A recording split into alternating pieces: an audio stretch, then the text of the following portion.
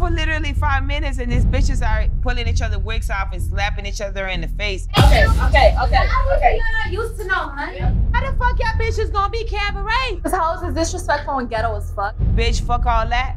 Get to that stage. Let's make something happen. What are we gonna do about this water, babe? Going to space.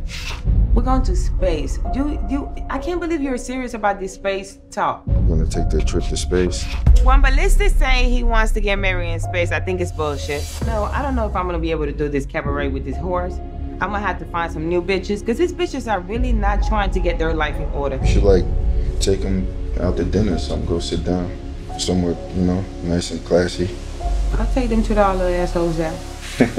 I need to see where their mind is at. So during that whole chaotic moment, me and Jay broke our fucking nails. The bitch had an issue with me saying like I'm a 304. What's your issue with me being a 304? You're the hoe. I feel like this journey is gonna be whatever we make it, and that's just real shit. Last night was so out of hand. Like I had to pull up on my girl Chastity. You stepped in, but you ain't smacking nobody, so what the fuck? I broke bitches' nails. The, them oh. hoes was looking, oh my god, my nails. I just have some fucking words if we do see them hoes again. Like it's not done. Once you're coming for me, like I'm sorry. Like my mouth is just I'm just gonna keep fucking going. Listen, guys.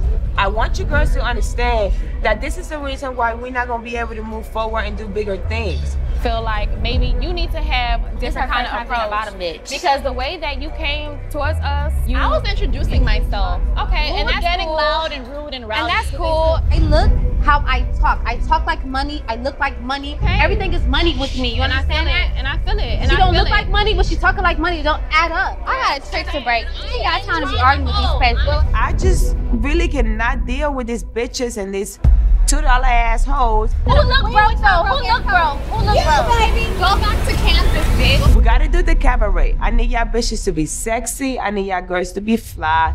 And I need you to be late.